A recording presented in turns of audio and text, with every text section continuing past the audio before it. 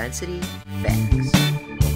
A can of Diet Cola will float, and a can of regular cola will sink when placed in water. You see, in the same amount of fluid ounces, there are more atoms in the can of regular cola. The main ingredients in cola are carbonated water and sugar. So each can has the same amount of water molecules, but in the same space, the regular cola has additional molecules from the sugar. Putting more atoms in the water forces the molecules to be more dense, making the cola sink. Hot air balloons fly because of density. Just like all matter, air is made up of atoms and molecules. When air inside the balloon is heated, it expands or gets bigger. So, compared to the air around the balloon, the atoms inside have more room to move around and, as a result, are not as tightly packed together. The air inside the balloon is less dense than the surrounding air, and the balloon becomes buoyant. When it's time to land, the pilot stops heating the air, and as it cools, it contracts to match the density of the surrounding air.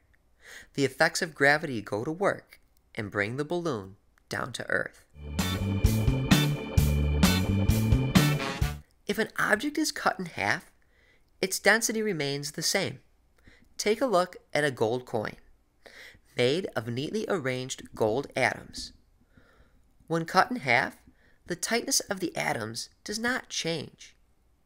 Whether you have a half of a coin or a complete gold coin, the density stays the same.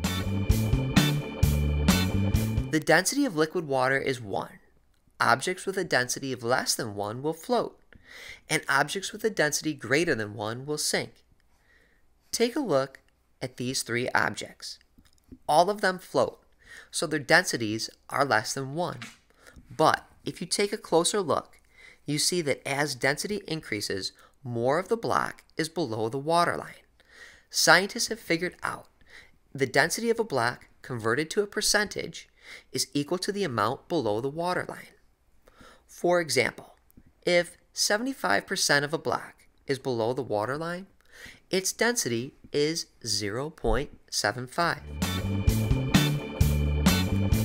Ice floats because of density. When water freezes, it expands. Just like the expanding air in the hot air balloon, water molecules in expanding ice spread further apart the atoms in ice are not as tightly packed together as they are in the liquid phase. If we observe an iceberg, notice about 92% of the iceberg is below the waterline. This means that the density of ice is 0.92. Density facts.